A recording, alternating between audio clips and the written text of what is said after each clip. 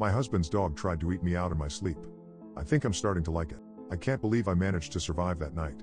I wanted a baby, but my fiance Victor said not yet and so we settled on getting another dog. We already had three my Welsh Terriers, Goldie and Teddy, and his miniature poodle Fifi. What harm could one more do? We both had our other dogs since they were puppies and had planned on doing the same for the next one until a friend recommended rescuing an older dog. After looking into it, we found an adorable pup named Joey. He was a one-year-old English Mastiff mix, a mutt unlike our other dogs, but he had those same captivating brown eyes. His previous owners gave him up because they hadn't expected him to get so big, but we didn't care about that. We felt he belonged with us, no matter his size. After all, he was clearly a gentle giant. Upon meeting him, I realized just how big he really was. But Victor seemed to have fallen in love already, so I didn't comment on it. Joey was playful but chill and I knew my reservations would leave in no time. I mean, how could I look into those big blue eyes and not love him? I thought to myself. Wait a second, blue. I could have sworn that his eyes were brown a moment ago. Strange. When we brought him home, Goldie and Teddy didn't take much notice whilst Fifi growled and hid behind the couch. Instead of getting aggressive, Joey simply looked up at me in confusion. I hoped that in time they would get along better. Not much changed in most aspects of our life. Fifi didn't seem to like him anymore, but I knew I had to give it time. She wasn't exactly ecstatic about Goldie and Teddy when Victor and I first moved in together, but now they cuddle and play all the time. Still, it seemed her fears were getting worse. I'd wake up in the middle of the night to find her hiding in the strangest places, shaking and whimpering but unharmed. Joey was nearby, looking around, confused about the situation.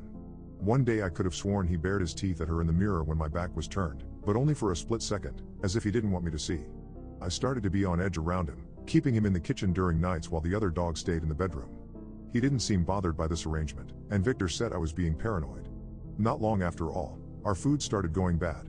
It was as if somebody had turned off our refrigerator. Somebody also ate some of our food, then put it all back in before we woke up. As I held the rotten food in my hands and looked into his eyes, I knew something was wrong with that dog and I felt a chill go up my spine. I put a kennel in the backyard and kept him there overnight instead. Then dead animals started showing up all over the grass, their organs completely missing. When I so much as raised my voice at him for murdering the poor animals, he snarled at me. He was showing more and more aggression, not just to me, but to our other three dogs, especially Fifi. When I mentioned to Victor I was worried Joey was going to hurt her, he got mad. How could you say such a sweet, gentle dog would ever do that? And to Fifi too. You know how much she means to me. Fifi and another dog belonged to his sister, but his sister and the other dog passed away in a car accident a couple weeks before we met. I didn't want to upset him further, so I dropped it. That was until I woke up to whimpers, which then turned into screams in the middle of the night. I ran downstairs to see Joey in the living room, tearing Fifi to shreds. There were body parts everywhere, and I don't think I'll ever get the image of her blood smudged around his mouth out of my mind. I've never cried out for help so loudly. Victor came running and instinctively turned the lights on to see the horror that just took place, pieces of a stuffed toy strewn around the room. He then proceeded to berate me for my behavior. Seriously, Rachel, what the hell's been up with you lately? Why are you so out to get this innocent dog? All the while, Joey's eyes bore into me, looking more sinister and soulless than ever. I'd had enough of the mind games. Then it happened. Three nights ago, I awoke to a figure looming over me in the darkness. It was grotesque, its limbs looked out of place and every part of it looked disproportionate and broken. At first I wanted to scream, but I didn't. Its eyes met mine and immediately I knew what it was. Joey out of his disguise. I turned to Victor and shook him awake as fast as I could. But by the time he turned over, Joey was a dog again, sitting beside the bed. Victor just looked at me, shook his head in disapproval and went back to sleep. I sent Joey out of the room and did the same. The next morning I was surprised with the weekend getaway. We hastily packed our bags and Victor solemnly said goodbye to Joey as the place only allowed small dogs.